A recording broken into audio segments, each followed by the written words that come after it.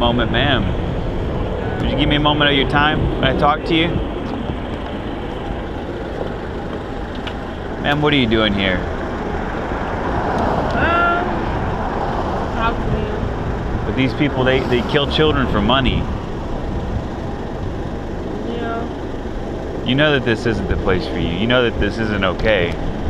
I mean, we can help you. Like, if you say that you need help and the, the reason that you are here is because you need help, we can help you. We can take care of any material need that you have, but it, there's no justification for this. I mean, I, I mean, I have four kids already. I have this other one. But let me, okay, so if, if you, you have a job, right? No. Okay, does your husband have a job? I'm a single mother. You're single mom. So if you if your income got dramatically reduced, you wouldn't say, "Man, I can't take care of all four of you. I'm going to kill one of you."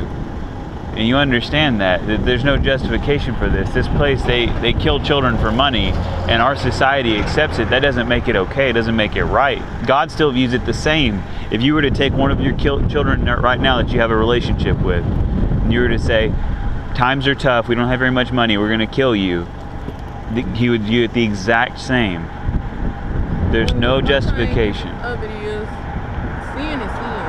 Ain't no bigger sin, ain't no little sin, ain't That's no small sin. that's definitely not what the Bible says, ma'am. Sin is sin. Okay, where in the Bible does it say that, ma'am? Sin is sin. You're making a justification for that. I'm not making a justification. I mean, you're not gonna change my God mind. God hates all sin. He hates all sin. But it says he hates certain sins more no specifically than the sin. other. It's not okay. This sin is bigger than. Where that. does it say that? Where does it say that, Where does it say in the Bible that okay, this sin is bigger than that sin? James Proverbs right now. Seven things God hates. Read it out loud. There's seven things that God hates, six that No, are read it out of the Bible. to him. He's, he's gonna get it. Is there like I have a specific? Bible in here. But like, he's gonna get it. He wants no. You asked I me a have a question. Let me talk to you about it. But he asked. He asked a question. He's gonna show you right here. I'm a very Christian. I, I have a Bible. And It's you're gonna come kill your child that God's wanting to bless you with.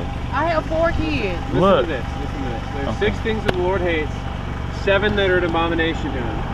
Haughty eyes, pride, lying tongue, hands that shed innocent blood, a heart that devises wicked plans, feet that make haste to run to evil, a false witness who breathes out lies, and one who sows discord among brothers. Did you hear greed in there? Well, greed wasn't in there. Greed's a sin. God hates greed. But guess what? Like shedding innocent blood, He hates more. And this is the shedding of the innocent blood of the child that He wants to bless you with. Or if you are not actually not able to physically take care of this child, wants to bless someone else with, that you're withholding and treating as a curse. For nine months, I'm not gonna give it to nobody. Well, then let us help you do that. I don't. I don't There's no it. justification I don't for it. I don't want to be pregnant.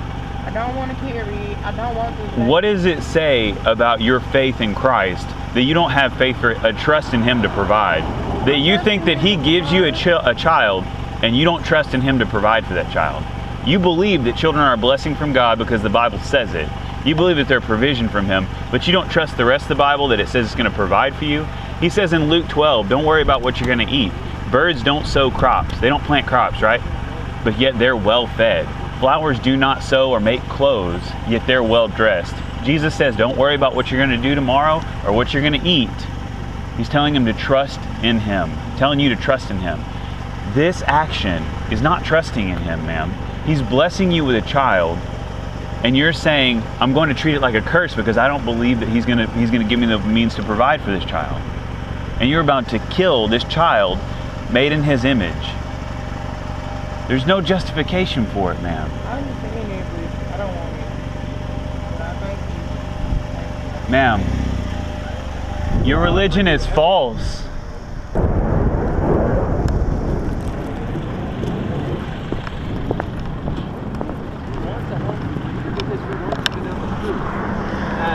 is murder. And God, that, that's sin.